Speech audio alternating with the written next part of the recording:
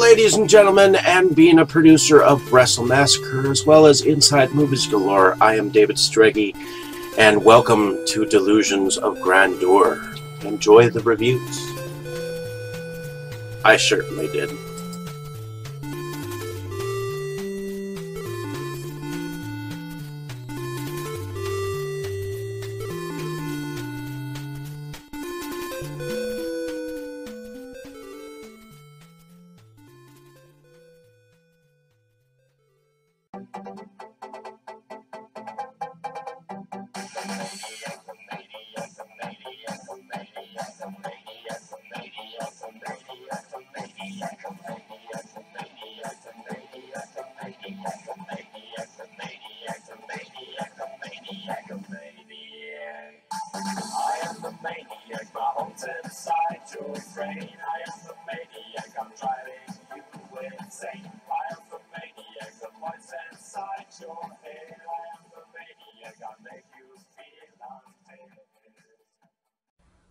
Dave, that's it. Screw you and your college flunkies.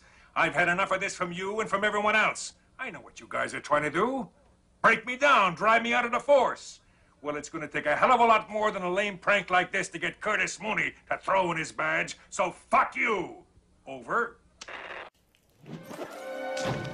Did you miss me?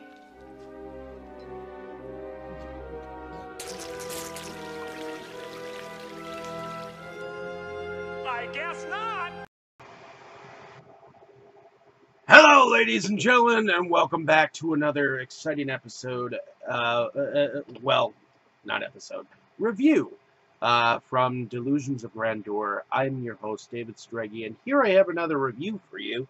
This time of a film that was directed by Dustin Ferguson, um, and it has a um, year of uh, coming out in 2019.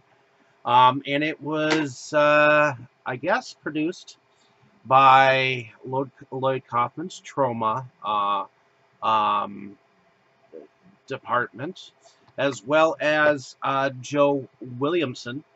Um, and it, it was, like I said, directed by Dustin Ferguson. Um, and it's called Moon of the Blood Beast. And uh, we have a uh, sort of a um, small town vibe here. Um, definitely, um, if you like, um, like The Legend of Boggy Creek, uh, uh, that type of film where we have kind of a small town that has a legend and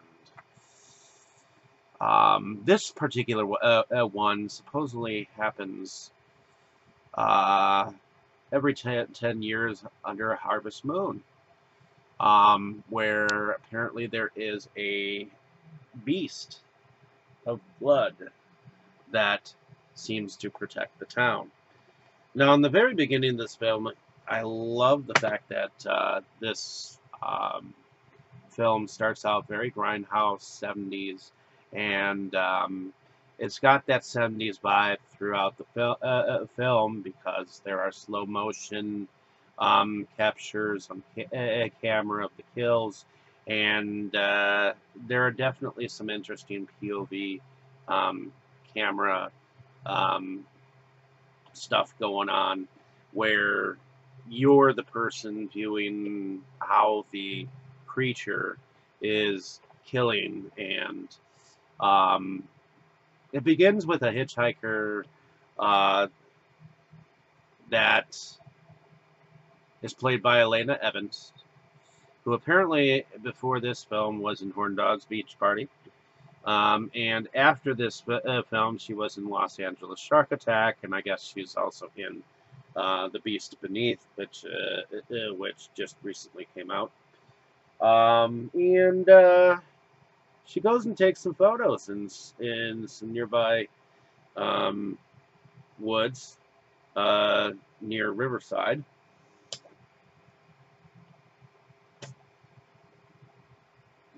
And all we see is that she is attacked. And of course, we get some uh, close-ups and then some quick shot away away blood splatters. Um, and we are also introduced to a sheriff that um, uh, I believe his name is Sheriff Frank. um,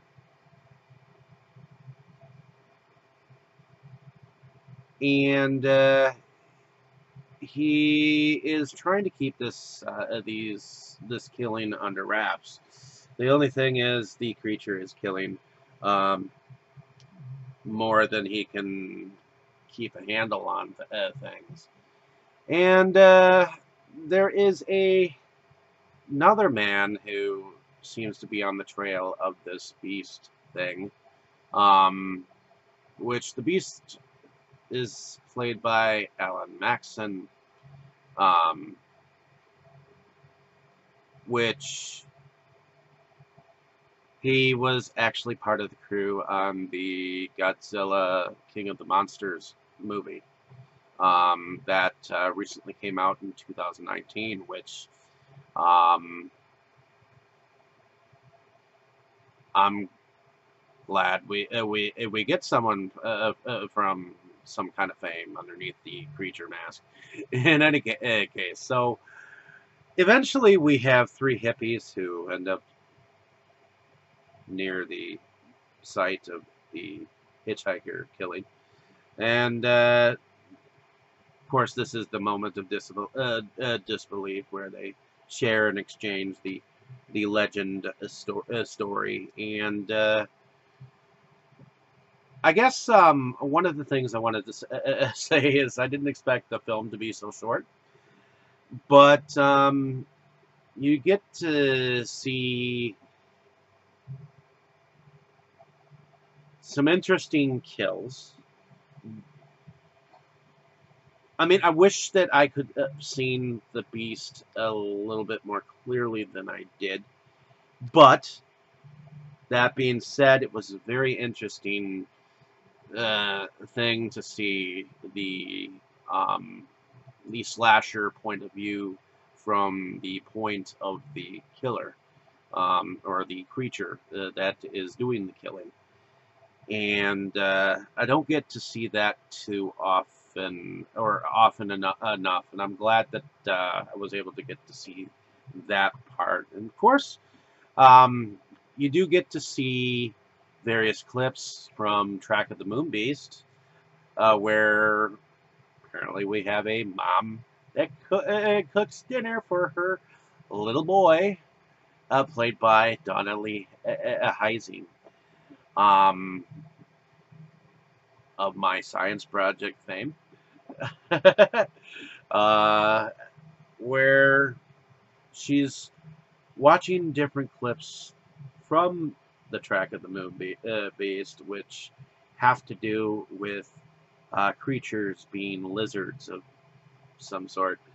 And uh, I kind of laughed at this because I remember watching uh, watching Track of the Moon, uh, moon uh, Beast on Mystery Science Theater years ago myself, being a fan of the the show, and it was interesting how many, how long the clips were too. I mean, I I guess I forgot that that uh, film was in the public domain now, so.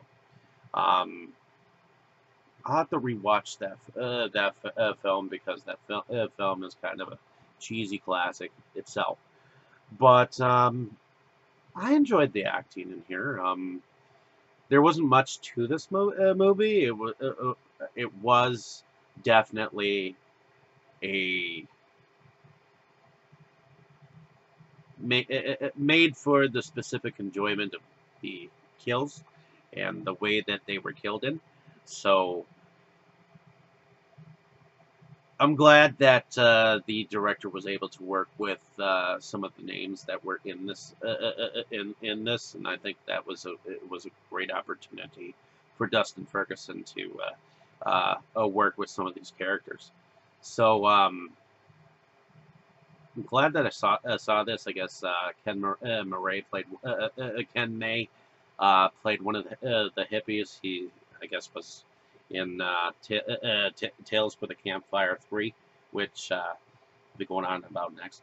Um, but in any case, I I relatively enjoyed this film. I mean, it was interesting, fun, and I'm glad that I was able to uh, uh, get a copy of this uh, uh, uh, film. So thank you, Mr. Williamson, for treating me to this relatively short, short but enthusiastic um, slasher film. it's definitely different. Um, I just hope that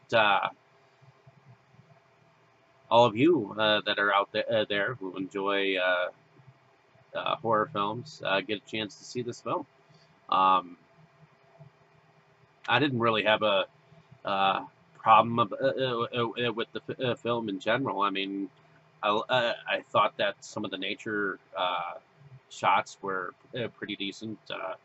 Some of the places that the jogger and the hitchhiker were hitchhiking and jogging down were pretty beautiful. Uh, was at least a sunset or two that looked kind of spectacular. Although, um, not sure. If, uh, I, it was a good contrast uh, with the story that it was going for. Um, so, um, someone in an earlier uh, a, a review said something to the effect that uh, it had some Pumpkinhead vibes or what whatnot, and uh, I I can see that, um, but um, I thought it was entertaining, and uh, I just hope that uh, it gets more viewing uh, for those who enjoy these types of films. So. Thank you for listening. Uh, have a great day, evening, or morning, wherever you are. I, I guess if I had a favorite scene uh, in this film, I guess would have to go with the hippie scene, where they uh, they were actually um, explaining the uh, uh, the uh, the legend, and uh, and I know that um, I know that uh, the woman who was playing the dispatcher, Noel Johnson. Um, she's played by Vita Gaffrey, um, and from what I understand, she's kind of a rising star. I remember seeing her as uh, Nikita in The Eternal Code, um, which, uh, if you haven't checked out my review on The Eternal Code, definitely go see that. Um, and she seems to be in a lot of films that I really want to see uh, uh, coming up here. Realm of Shadows, Hall of the Screaming Undead, Ed and the Living De- uh, uh, Dead, Copperhead Creek. Uh, so, um, and uh, a couple of the Mo- Meat Hook Massacres, uh, apparently. I know I eventually want to check out Robo Woman um, uh, and uh, uh, some of the others that uh, uh, Dustin Ferguson has uh, uh, been involved with. Uh, with. Uh, but uh, in any case, I mean, definitely check the film out. Um, I I just hope you enjoy uh, the, the film. So thank you for listening. Have a great day, evening, or morning, wherever you are.